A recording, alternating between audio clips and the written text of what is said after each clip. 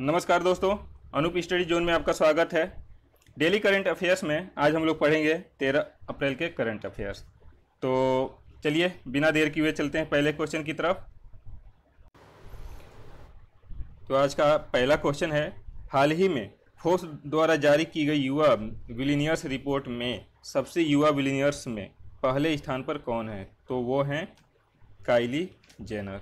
Kylie Jenner हैं ये cosmetic की मालकिन हैं और साथ ही साथ रियलिटी टीवी स्टार भी हैं और इन्होंने ये जो उपलब्धि हासिल किया है, ये इनका दूसरी बार इन्होंने इसमें उपलब्धि हासिल किया है सबसे युवा बिलीनियर्स में। चलिए अगले क्वेश्चन की तरफ़ चलते हैं।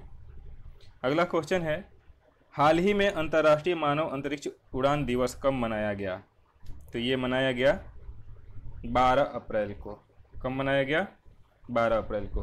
12 अप्रैल सन 1961 में पहली बार अंतरिक्ष के लिए उड़ान भरा गया था। तब से ये प्रतिवर्ष 12 अप्रैल को अंतर्राष्ट्रीय मानव अंतरिक्ष उड़ान दिवस के रूप में मनाया जाता है। चलिए अगले क्वेश्चन चलते हैं।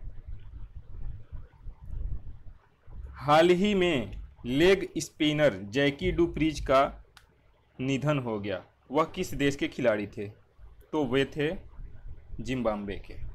ये जिम्बाब्वे के बहुत पहले मतलब खिलाड़ी थे लेग स्पिनर थे और साथ ही में ये जिम्बाब्वे को स्वतंत्र होने से पहले दक्षिण अफ्रीका के लिए दो टेस्ट मैच भी इन्होंने खेला था। उसके बाद से फिर वहाँ पर जिम्बाब्वे राष्ट्रीय चयनकर्ता के रूप में भी इनको शामिल किया गया था।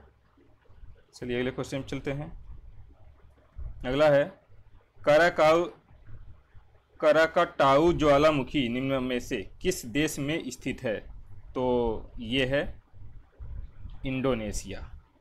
इंडोनेशिया में अभी हाल ही में इसमें बहुत भयंकर विस्फोट हुआ था, इसलिए ये चर्चा में रहा। अभी इसके पहले भी वहाँ पर एक ज्वालामुखी है, जिसमें विस्फोट हुआ था, उसका नाम है मेराफी। और बात करें इंडोनेशिया की तो जो इंडोनेशिया की राजधानी है, वो है जकार्ता। चलिए अगले क्वेश्चन चलते हैं। अगला क्वेश्चन है, हाल ही में केंद्र सरकार ने तमिलनाडु के साथ मिलकर एक प्रणाली की शुरुआत की है। इस प्रणाली का नाम क्या है? तो इस प्रणाली का नाम है इंटर एक्टिव वॉइस रिस्पॉन्स ये जो इंटर एक्टिव वॉइस रिस्पॉन्स है, इसके माध्यम से जो भी व्यक्ति है, वो अपने बारे में जान सकता है। इसका मतलब ये हुआ कि जो केंद्र सरकार ने अभी कुछ दिन पहले आरोग्य सेतु ऐप लॉन्च किया था, उसी में इसको जोड़ा जाएगा।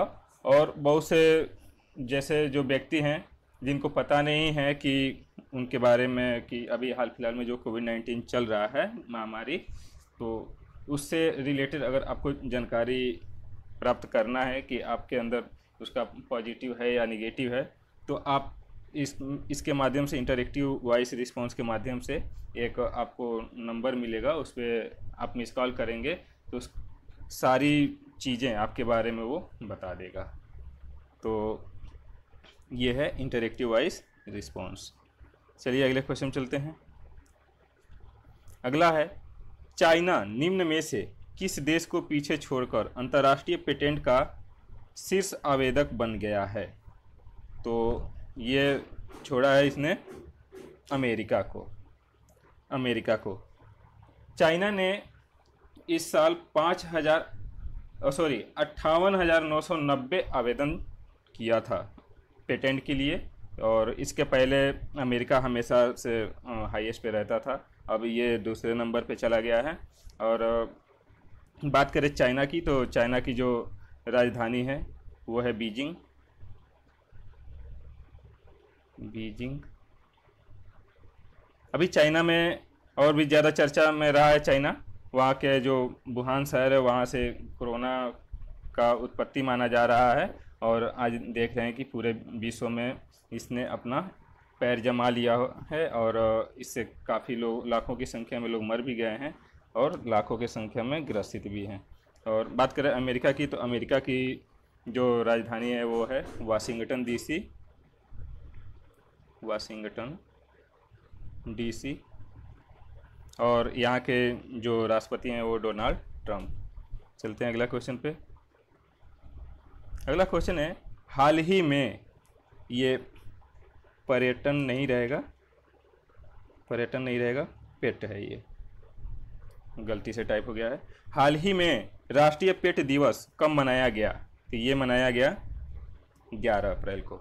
जो पेट होता है ये पालतू जानवर होते हैं, जैसे लोग, कुत्ता, बिल्ली आदि जो पालते हैं तो इनके लिए भी दिवस मनाया गया। तो सबसे पहले जो मनाने वाला जो देश था, वो था अमेरिका।